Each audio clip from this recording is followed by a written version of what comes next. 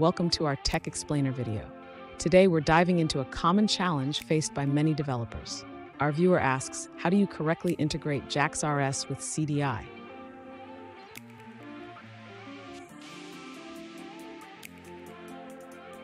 Let's set the stage. Our viewer has been successfully using JAX-RS with CDI by annotating their service and DAO beans with AppPath. However, they recently encountered a new challenge while integrating a Quartz job into their application. They want to know how to inject their account service into this job without using the path annotation.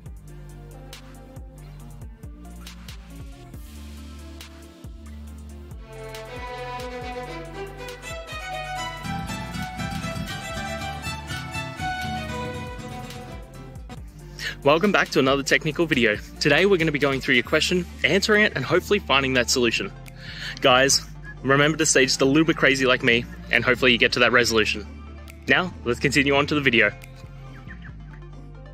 Let's begin by understanding how to integrate JAX-RS with CDI. In your case, you want to inject your account service into a Quartz job. Normally, you would annotate your resource classes with app path to make them accessible as REST endpoints.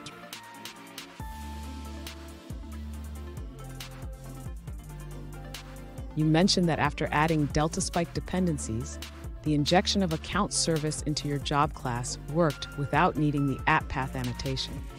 This is because DeltaSpike enhances CDI capabilities, allowing for better integration with Quartz.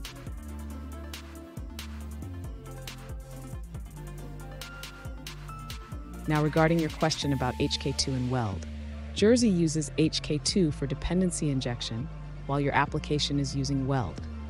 This is why you encountered an unsatisfied dependency exception when trying to inject account service without at path.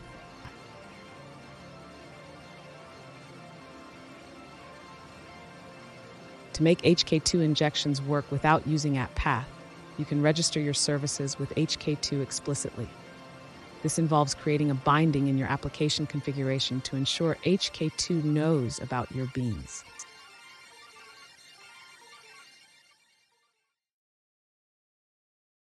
Finally, mixing CDI frameworks like HK2 and DeltaSpike can lead to complications.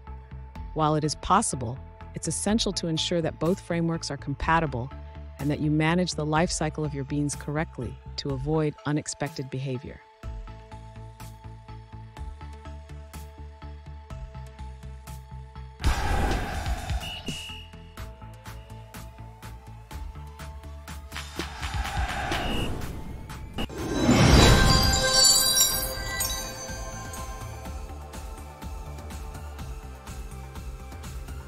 Let's now look at a user-suggested answer.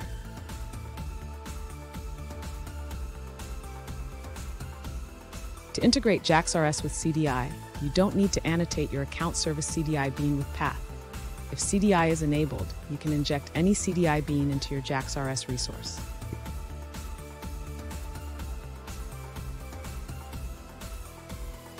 Here's a simple example.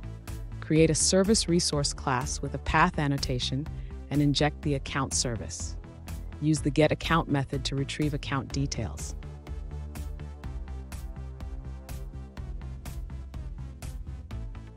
You can also mix EJB and CDI annotations, like using stateless with path, which allows you to benefit from EJB transactions in your REST resources.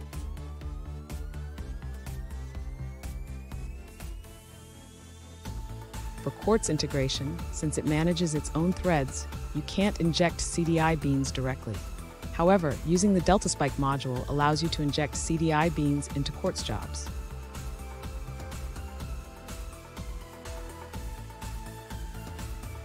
If you're facing HK2 issues, it might be due to a missing dependency.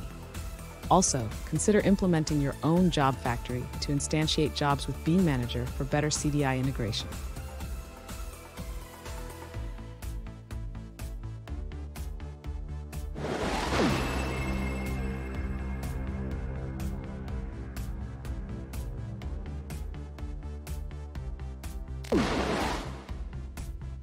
Let's now look at another user-suggested answer.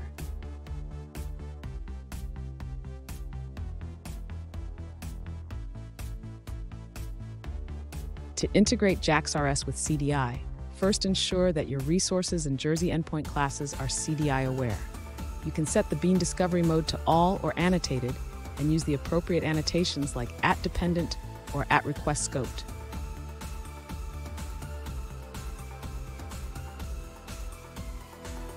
Next, include the Jersey extension in your project dependencies to connect CDI with the HK2 discovery mechanism.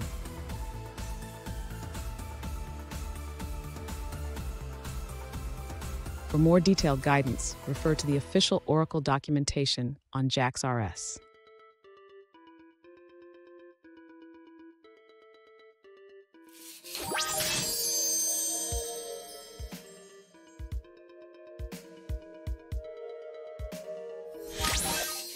Let's now look at another user-suggested answer.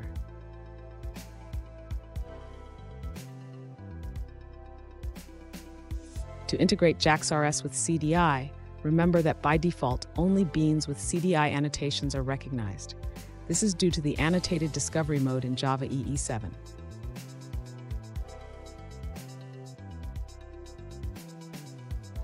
If your account job class isn't annotated, you need to add a scope annotation like at application scoped for CDI to manage it.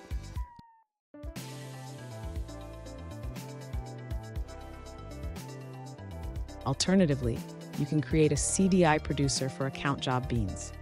For more details, check the Weld documentation on producer methods.